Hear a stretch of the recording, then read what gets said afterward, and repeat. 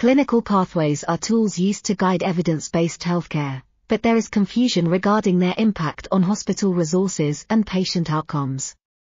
A team of Cochrane Review authors developed criteria to define a clinical pathway as a structured multidisciplinary plan of care that translates guidelines or evidence into local structures, details the steps in a course of treatment or care in a plan, pathway, algorithm, guideline, protocol, or other inventory of actions, has timeframes or criteria-based progression, and aims to standardize care for a specific clinical problem procedure, or episode of healthcare in a specific population.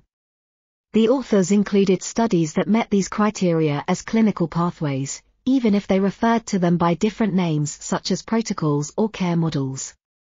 These criteria can serve as a foundation for the development of a standardized, internationally accepted definition of a clinical pathway.